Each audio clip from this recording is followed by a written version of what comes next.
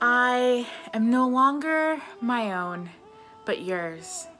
Put me to what you will, place me with whom you will. These are the opening lines of John Wesley's covenant prayer. I don't know if you have ever had a chance to be part of a covenant renewal service, but it reminds us that we are connected to the one who is greater than us. When you enter into a covenant relationship with God, you are choosing to live under God's direction. And this includes making sure others know that they too are invited to renew their covenant with God through their acts of worship. This includes a pastor's prayerful decision about whose marriages for whom they will serve as an officiant.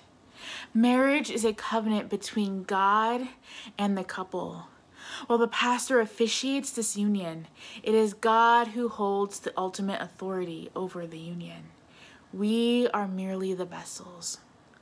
The Desert Southwest Conference is fully committed to the belief that we are a place where love lives. So, same gender weddings are always an option in our conference because all people have a right to experience the full spectrum of God's love and grace.